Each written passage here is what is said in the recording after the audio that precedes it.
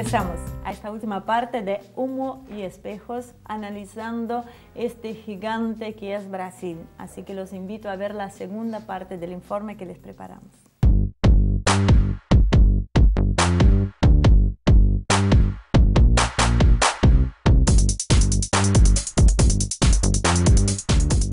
Brasil no solamente había crecido internamente, el protagonismo internacional aumentaba. Las aspiraciones de Lula empezaban a tomar cuerpo cuando el país sudamericano ingresaba a un selecto grupo de países que bregaban por un modelo multilateral.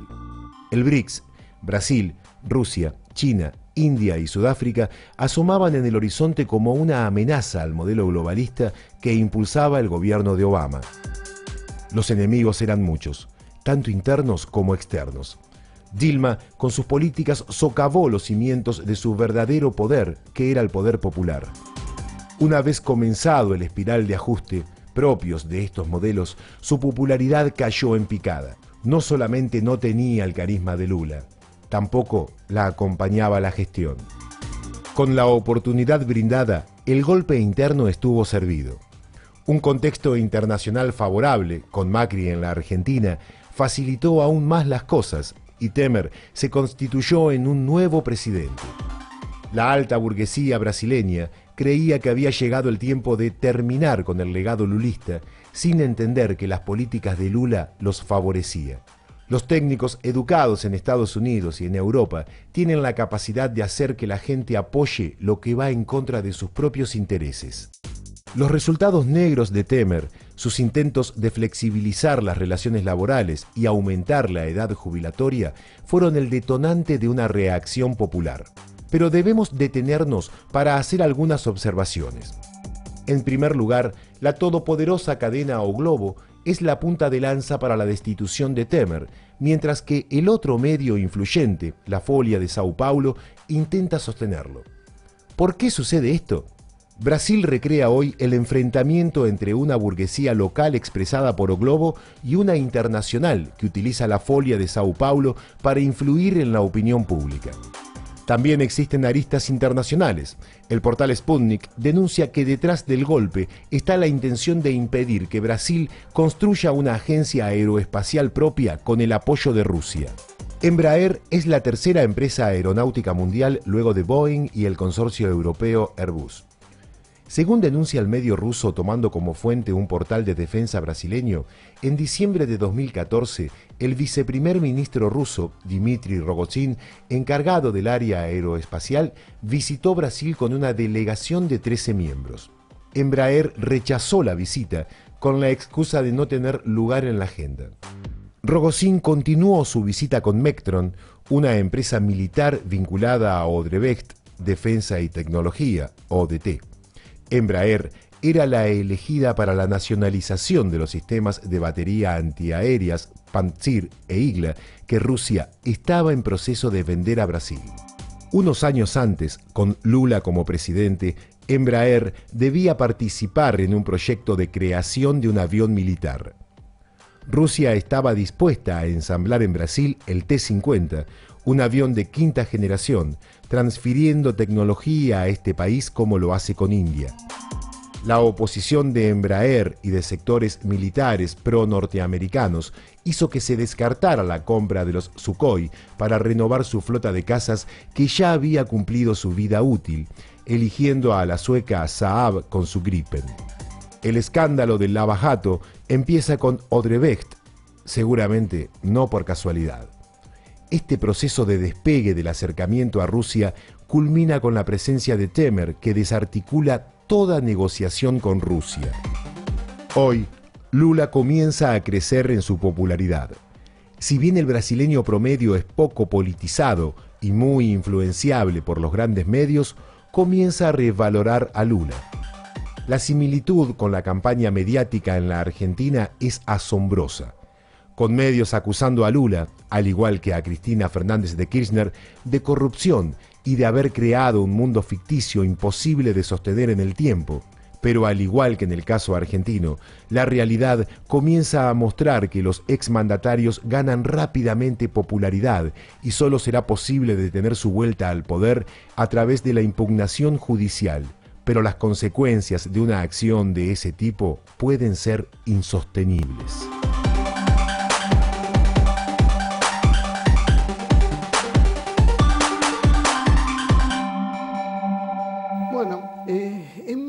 Brasil creo que aparte de lo que venimos hablando, hay algo que es más profundo. Hubo un portal de defensa brasileño que habló de, un tema que, se sabe poco. durante el gobierno de, Lula, el viceprimer ministro Ragozín ruso, eh, con una delegación de 13 acompañantes, intentó eh, entrevistarse con las autoridades de Embraer. Las autoridades de Embraer no lo recibieron aduciendo un problema de agenda. Eh, el problema real, lo que subyacía detrás de esto, era básicamente que lo que se estaba, eh, esto era parte de un proceso que estaba intentando hacer Lula para desarrollar, por un lado, un submarino nuclear que se hablaba y por otro lado, para poder desarrollar una agencia aeroespacial. Ahí donde entraba de lleno el tema de Embraer. Como todo el mundo sabe, Embraer es brasileña, es la tercera empresa más grande del mundo después de Boeing y de Airbus. Sin embargo, eh, hay, un, detalle a tener en cuenta, que en realidad la, han privatizado. Entonces, eh, hoy Embraer juega más para Estados Unidos que realmente para Rusia. Entonces, después lo que se supo a raíz de esto era que Lula decide hacer un consorcio y entregarle a Odebrecht la realización de todo este proyecto que Embraer se resistía a hacer. Años después eh, vemos que el Lavallato salta por Odebrecht, que es una empresa con casos de corrupción, pero no, es la única empresa. En realidad sabemos que es el, modelo habitual de funcionar de, las grandes corporaciones para crecer. Eh, ¿cómo, entendés este juego geopolítico? Eh, ¿Hasta dónde apunta? ¿Hasta dónde es solo Odebrecht? O en realidad lo que están haciendo, como muchos piensan, es cortándole las piernas a Brasil, donde Odebrecht empezaba a internacionalizarse y a meterse en áreas donde no era bien vista. La verdad que es, eh, la, geopolítica de la región eh, ha sido muy complicada en, los últimos años. Eh, como también señalaba en alguna charla que tuvimos Oscar Laborde, parlamentario de Mercosur, desde el 5 de noviembre de 2005, cuando aquí le dijimos no al ALCA, eh, y nosotros nos quedamos todos festejando ese no al ALCA, Estados Unidos ese mismo día empezó a pensar cómo recuperar este territorio que, había perdido. Y empezó a tomar un montón de acciones que, no podemos enumerar ahora, pero que, que son claves desde las ONG que fue financiando y que fue insertando en cada uno de los países, el apoyo a las oposiciones, los intentos de desestabilización, etcétera, etcétera, fue tratando de eh, romper con esta idea del multipolarismo, eh, de un mundo multipolar eh, que, se, estaba construyendo, que se estaba apoyando desde la región y con, el que la región quería interactuar. lo dijo muy claro recientemente el, el director, el jefe del Comando Sur, eh, Rusia e Irán habían comenzado a, eh, y Rusia, Irán y China habían comenzado a tener mucho peso en un continente que ellos consideran su patio trasero. Y eso no podía ser. Había que recuperar sí o sí ese continente, ese patio trasero. Lo dijo eh, claramente, lo dijo sin eufemismos. es que para el para eh, la política hacia América Latina no depende del Departamento de Estado en Estados Unidos, lo mm. cual creo que es más que una confesión. O sea, no es relaciones exteriores, es un tema doméstico. también lo señaló justamente, y reforzando lo, que vos acabas de decir, lo, lo señaló Atilio Borón. Él fue a una conferencia en la que hablaba uno de los asesores de Obama para para, para la política exterior, el asesor de Obama habló de Europa, habló de África, habló de Asia, pero no habló nunca de América Latina. Anécdota. Y cuando Tilio le preguntó, le dijo, yo no hablo de América Latina como no hablo de Texas, no hablo de California, porque América Latina no es política exterior, es política interna. Ahora, eh, el tema que estás, bueno, es un poco quizás trazando un paralelismo lo que intentó o quiso hacer eh, Trump en su política, eh, cuando, en sus promesas de elecciones, ¿no?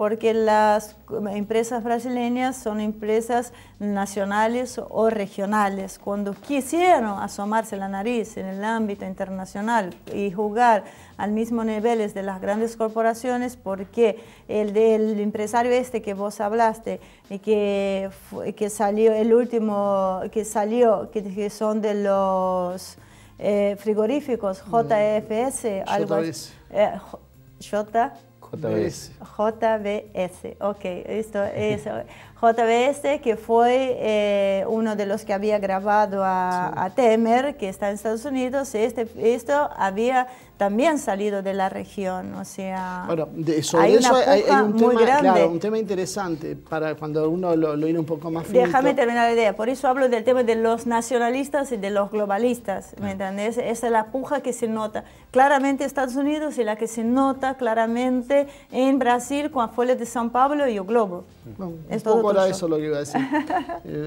la Globo busca destituir a Temer, la Folha de São Paulo lo, sostiene, ¿por qué? Porque responden a dos grupos de intereses opuestos, contrapuestos, como cuando lo voltean a Lula, la gente, eh, la parte de la burguesía que, que, se beneficiaba con el proceso de Lula es la que termina siendo la respuesta ahora de destapándote el tema del lavallato y eh, empezar haciendo la grabación, porque no es fácil grabar a un presidente en las condiciones que lo grabaron a Temer diciendo que él autorizaba el pago. Ah, y hay que tener en cuenta también una, cuestión. Eh, o Globo eh, sacó esta grabación contra Temer, pero también sigue atacando a Lula por, por corrupción y, y, también ataca a Ezio Neves.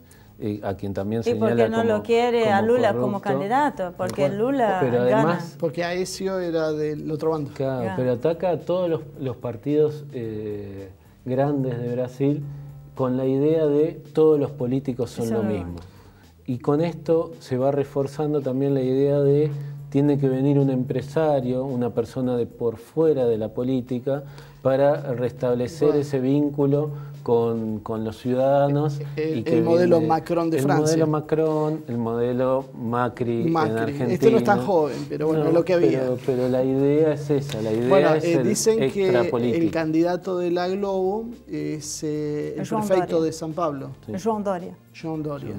Que es, tiene ese perfil que vos decís, es un empresario joven, devenido a político ahora, pero la gran duda es si les va a dar el tiempo para fabricar el candidato que necesitan, porque las elecciones son ya y hay un tiempo de maduración. Y por lo que todo el mundo dice en Brasil, de, desde un empresario, pasando por un político, hasta el último peón, eh, y sean lulistas o antilulistas, todos coinciden en que Lula gana, lo cual eh, solo les da una alternativa que es la de encarcelarlo a Lula o de alguna manera proscribirlo. Sí, es lo que, lo que señalábamos hoy al principio de la charla, ¿no es cierto? El brazo mediático judicial tratando de jugar esta última ficha y decir, bueno, si es necesario que sean elecciones directas ya, que es lo que ellos también han tratado de evitar, ¿no es cierto? Sino que si se va a temer, sea el Congreso el que elija al presidente que lo reemplace, pero bueno, ante el reclamo constante y ante la posibilidad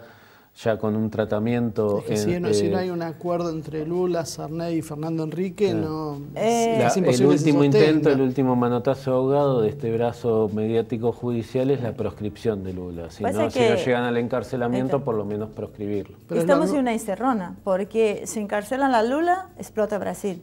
Y si no lo encarcelan a Lula, ganan las, las elecciones, no hay otra. ellos creen que podrán manejarlo mediáticamente, pero es eh, como lo pasa con Cristina acá. Eh, ¿Qué pasa si la, si la, la metes presa a Cristina? aparte que, perdón, que la historia te demuestra, pasó con Perón.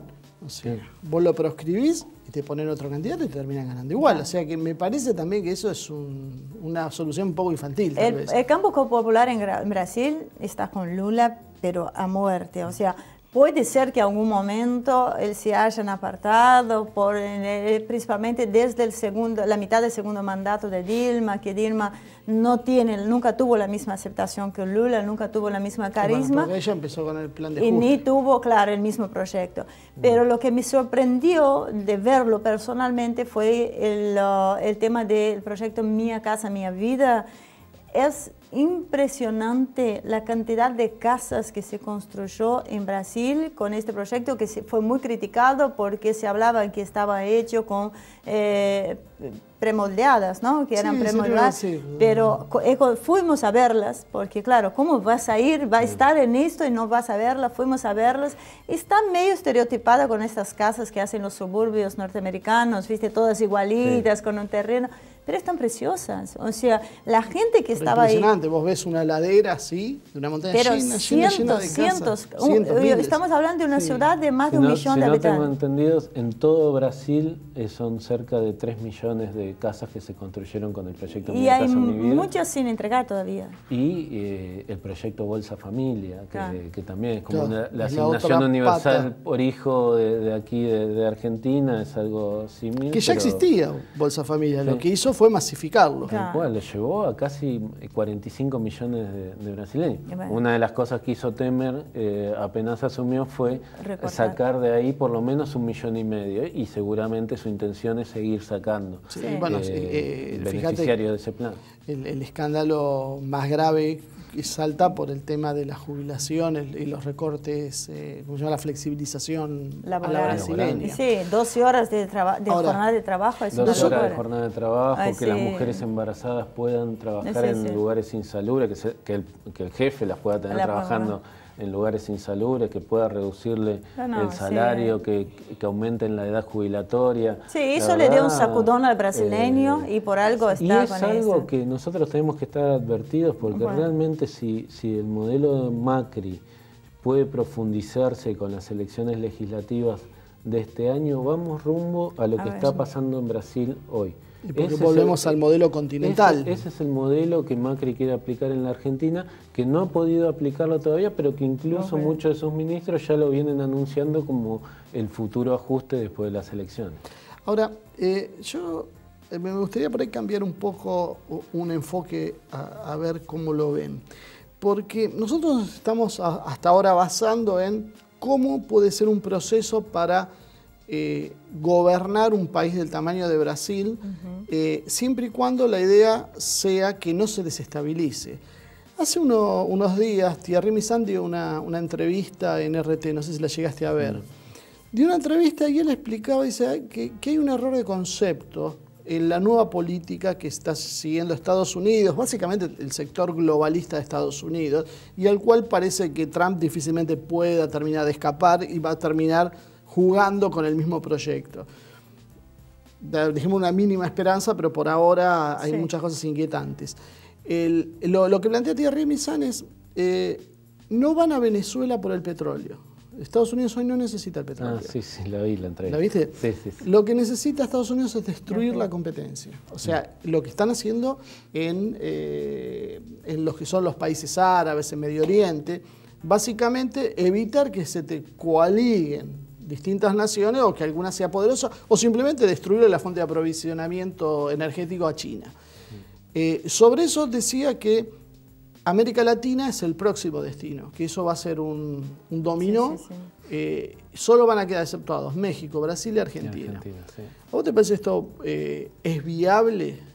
Yo creo... Y es viable, aparte, sacar a Argentina y Brasil, meterles este modelo en este contexto regional y que no explote todo. Después que, vi la entrevista, eh, charlé con, con, personas que yo respeto mucho, como Carlos Raimundi o Alicia Castro, sobre este tema, y coincidimos en que puede ser que vayan por eso, pero creemos que, descartar el tema de los recursos naturales tan, tan contundentemente mm. como hace el especialista en la entrevista, no, no lo comparto ni, lo comparto. Yo creo que la intención no eh, es eh, esa, es destruimos y después vamos y los tomamos porque es negociar con una banda que tiene una región petrolera. no es lo mismo que negociar con un Estado. Que es, es, probable. Pero en, la metodología de desestabilización en sí. La metodología de desestabilización es la que vemos en, el resto de, la región, pero más concentrada en Venezuela. Lo, vimos también con el golpe de Estado de 2002, del 11 de abril de 2002, cuando los medios de comunicación fueron un actor fundamental en ese golpe contra Chávez, que Estados Unidos avaló rápidamente y que por suerte duró solo 48 horas. El pueblo se levantó y repuso a, su presidente democráticamente electo eh, en, el gobierno. Eh, este proceso desestabilizador eh, tiene un grupo radicalizado, tiene un grupo donde está Lilian Tintori, que también se reunió con Temer, ¿no es cierto?, para defender la democracia en Venezuela, la esposa de Leopoldo López va y se reúne con un golpista en Brasil. Suena por lo menos contradictorio, ¿no es cierto? Pero bueno, eh, Lilian Tintor y algunos de, su entorno, eh, Capriles también, están totalmente radicalizados, hacen el juego a esta idea de eh, vamos por todo, queremos la de prender fuego Venezuela, se pueden escuchar en, audios que, que, han sido grabados de conversaciones telefónicas de ella, donde dicen nosotros queremos prender fuego Venezuela, no queremos otra cosa. Pero el mismo Thierry Missan les advierte que ellos van a ser las próximas víctimas, porque una vez que lo consigan, después van a, van a, caer sobre la misma rueda que están eh, haciendo, porque Estados Unidos o el globalismo, quien sea, no busca aliados. pero en su radicalización estos la sectores no, llegan a ver. No llegan a verlo, no lo creen y seguramente sus aliados en Estados Unidos... Eh, no, no le dirán eso, le dirán que no, que los vamos a apoyar, que los vamos a, sostener hasta último momento. No lo quiero cortar, pero necesito, necesito hacer... Voy a invadir Kuwait que después está todo bien cuando empiezo a hablar vos tenés que darme el espacio para que yo siga hablando. Eh, necesito hacerte una última pregunta cortita que nos restó tiempo para mí, que fue eh, algo que sí noté el brasileño muy preocupado y quisiera saber qué riesgo puede llevar esto eh, a la región, que fue las maniobras en Amazonas por las tropas de Estados Unidos. Los brasileños, así como nosotros, estábamos indignados por lo que, estaba, por lo que sucedió. La verdad que este anuncio de que, de que van a realizar eh, maniobras conjuntas entre Estados Unidos y, el ejército de Estados Unidos y el ejército brasileño en la zona de Amazonas es, más que preocupante. Eh, sobre todo teniendo en cuenta la constante intención de, Estados Unidos de, atacar Venezuela, de, hacer una intervención, de sacar, ya sea desde la OEA o desde algún eh, otro sector, algún aval político que les permita después la intervención militar directa. Eh, todavía se mantiene hasta el día de hoy el decreto Obama que dice que Venezuela es un riesgo para la seguridad nacional eh, norteamericana. Mm la cantidad de bases que hay esparcidas en todo el continente, la cantidad de bases que hay en Colombia, que está pegado A, bases norteamericanas, ¿no es cierto? que, están pegados a Venezuela, el hecho de que las FARC ya no sean un cinturón de contención entre las fuerzas eh, armadas, la fuerza, el ejército eh, colombiano y, la frontera hay dicho que eh, venezolana. Estados Unidos apoyó ese plan de paz porque en realidad lo que se estaba buscando era crear las condiciones para desestabilizar Venezuela y hacía falta neutralizar a la FARC. Todo el paramilitarismo colombiano sigue activo, mucho de ese paramilitarismo está en Venezuela. Bueno, eh, eso lo vamos a dejar para un próximo programa porque es muy rico realmente y eh, tendríamos que hablar mucho más de eso, que son las bases militares. Bueno, ¿eso no lo dijo el embajador de Venezuela? Eh, eso lo dijo en la conferencia de prensa, bueno, está ahí los que quieran ver, vamos a, tratar de poner la dirección. exactamente eso, que el, proceso de paz con las FARC, eh, eh, ellos lo plantearon claramente, si nosotros intervenimos en Venezuela, las FARC van a entrar en Venezuela a jugar también. Entonces había que primero neutralizarlas para tener las manos libres. Corrieron ese cinturón que, que, por ahí ponía un límite ahí con el ejército y eh, la verdad que el ejército más poderoso de la región es el ejército colombiano y la intención también de que el ejército argentino y el ejército brasileño, una, una coalición de paz, entre comillas, entre a Venezuela para restablecer el orden eh, es algo que está, con lo que Estados Unidos sueña, con lo que muchos en Estados Unidos brasileño está muy No lo dejo hablar más, a, más a Marcelo, si no lo terminamos más. Muchísimas gracias, Héctor, por acompañarnos. Siempre es un gusto recibirte. Bueno, esperamos verte en, otra, en otro momento y hablando sobre estos temas y, otros mucho más interesantes. Marcelo, tenés que darme el espacio. Muchísimas gracias a todos ustedes por acompañarnos. Los esperamos la semana que viene con más una edición de Humo y Espejos.